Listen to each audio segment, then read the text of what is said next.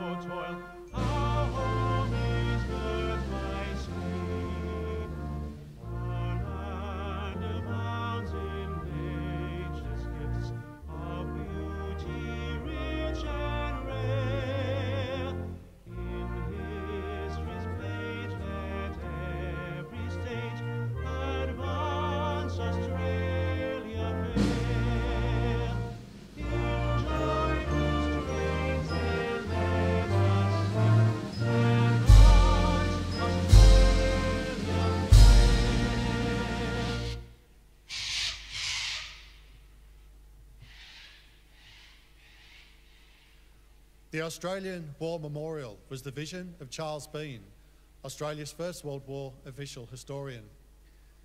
Bean landed with the Australian troops on Gallipoli and stayed with them at the front through to the end of the war.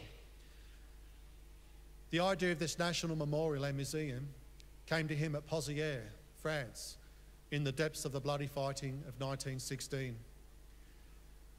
Bean's idea was that this would be a place where families and friends could mourn their loved ones buried in faraway places. It would also be a place that could help all Australians understand what these men and women had endured and what they had done for us.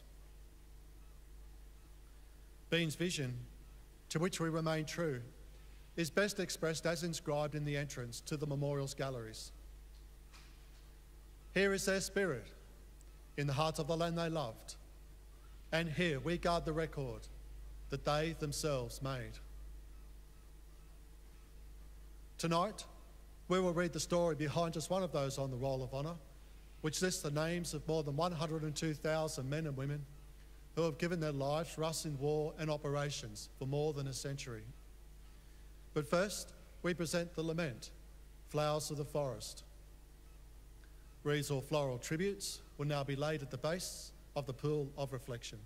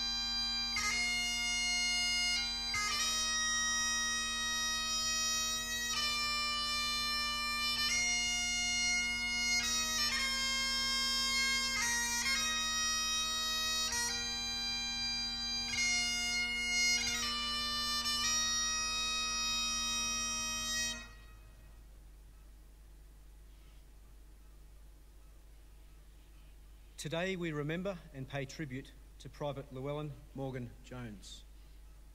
Llewellyn Jones was the son of William and Rachel Jones. While the two were both born in South Wales, they met and married in Queensland after migrating to Australia in their 20s. Llewellyn was the fourth of their five children. When Llewellyn was seven years old, his father moved to America to look for work with the family to follow. However, this never happened, and although the family remained in contact, Llewellyn did not see his father again. His elder brother William became the head of the family, and Lou attended the Petrie Terrace Boys' School and later Milton State School. He became a carter for the Automatic Bakeries Company in Brisbane. In 1914, Llewellyn's mother was admitted to an institution after several months of illness. Llewellyn Jones enlisted in the Australian Imperial Force in June 1915. He underwent a period of training in Australia before being sent to Egypt with the 25th Battalion. He continued training there and was transferred to the 9th Battalion in February 1916. Private Jones arrived in France to fight on the Western Front in April 1916. He spent a few days in hospital with the flu, but otherwise continued training in preparation for the 9th Battalion's first operation on the Western Front. This came on the 23rd of July 1916 when the 9th Battalion participated in an operation that successfully captured the French village of Pozières. Less than a month later, the 9th Battalion was back on the front line to the north of Pozières. There it came under regular heavy artillery bombardment. On the 21st of August, the 10th, 11th, and 12th Battalions attacked towards Mouquet Farm, with the 9th Battalion holding the left flank of the line. As the attack went ahead, platoons of the 9th Battalion were called forward in support of the main operation. In the confusion of battle, the 9th Battalion suffered more than 150 casualties in the small force that participated in the operation and the men in the lines under the artillery bombardment. Private Llewellyn Jones did not return on the 21st of August and was reported to have been killed in action. The family heard very little about the manner of his death. Even in 1920, Llewellyn's older brother William wrote to the base records saying, Up to the present, I have not had any further information from as to how or where he was killed. I might add that his disc and personal belongings have been returned to me and in consequence, I think some record of his death should be with you. However, there is no evidence that the, of the exact manner of Llewellyn Jones's death was ever determined. His body was lost in the confusion and heavy artillery fire at Mouquet Farm and never recovered. He was 21 years old. His name is listed on the Roll of Honour on my right among the 62,000 Australians who died while serving in the First World War. His photograph is displayed today beside the pool of reflection. This is but one of many stories of service and sacrifice told here at the Australian War Memorial. We now remember Private Llewellyn Morgan Jones, who gave his life for us, for our freedoms, and in the hope of a better world.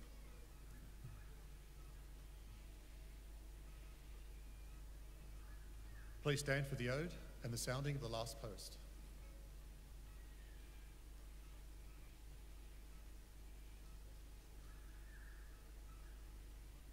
They shall grow not old as we that are left grow old. Age shall not weary them, nor the years condemn. At the going down of the sun and in the morning, we will remember them.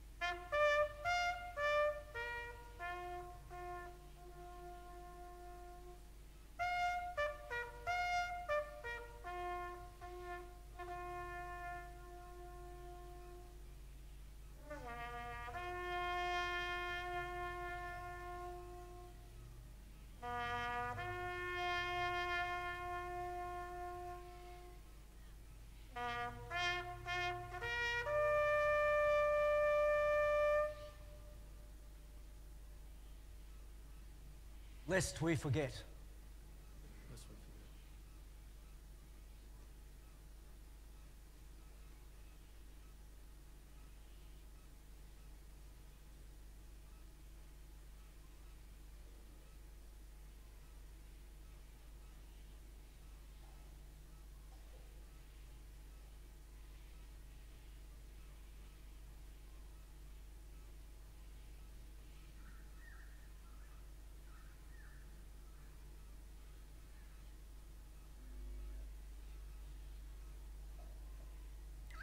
We leave you this evening with the words of the memorial's founder, Charles Bean.